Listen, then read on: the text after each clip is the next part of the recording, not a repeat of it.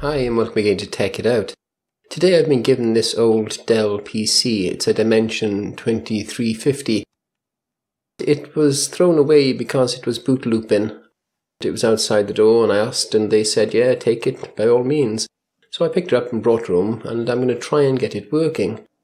First thing you'll notice is just how dirty it is. It's full of dust.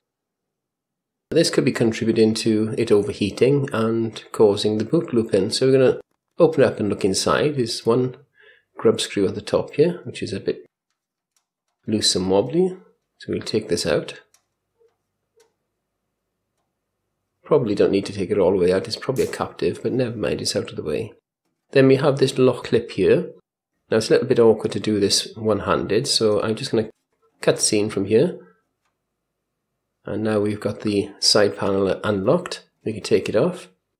And as you can see, it's quite dirty inside. It's not the worst I've ever seen, but it is quite dirty. Lots of dust and cobwebs. What I'm going to do with this is I'm going to just take a normal hoover. Not recommended, by the way, because it can be a bit too powerful. But I'm just going to take my ordinary hoover with a extension on it and clean out all the dust and all the cobwebs and any remaining spiders that may be in there as well. Now I've speeded this up, it's actually two times the speed. Otherwise you'd be sat here bored to tears watching me hoover an old PC.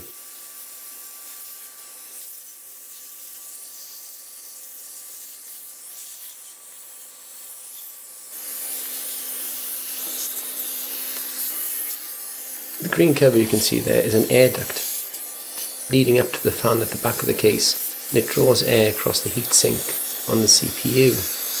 A bit different to modern heat sinks and fan arrangements, but uh, works all the same. So we're nearly finished. Just get all the dust off the bottom.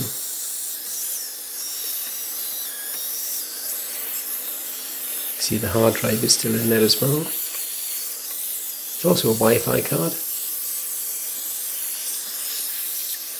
Now we're going to boot it up for the first time to see if it will actually boot and if the cleaning's done any good. Again, I'll speed it up a little bit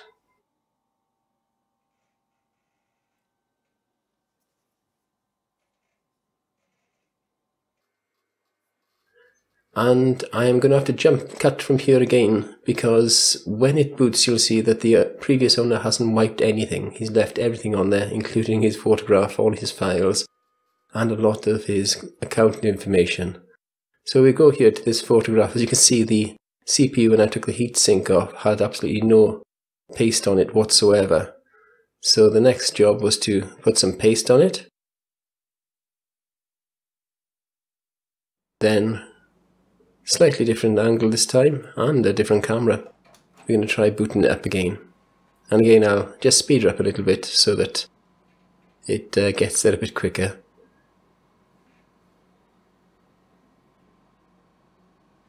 Press the enter button to start normally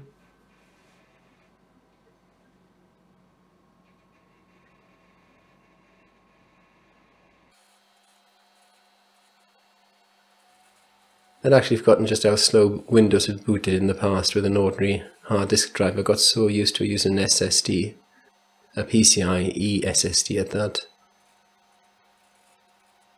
So now you see it's all booted up. I've taken the chance to clean it all out as well, clear out all the rubbish that was on there, and do a complete security wipe of the hard disk, reinstall, and as you can see it's working pretty well.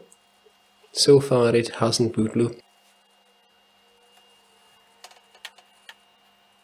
It seems to be stable. What I'll do now is I'll just run it for a little while and if it is stable I'll do what I usually do and I'll pass it on to somebody who can't afford a PC of their own. Maybe a student or someone like that who needs to do some work from home or write essays. Information about the PC there. And the last thing I'm going to do is switch on system restore.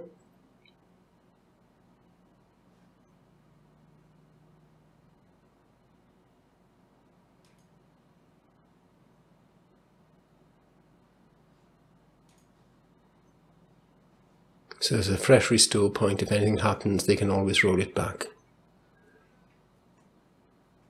So there you go, a quick cleanup of an old XP PC Thank you again for watching.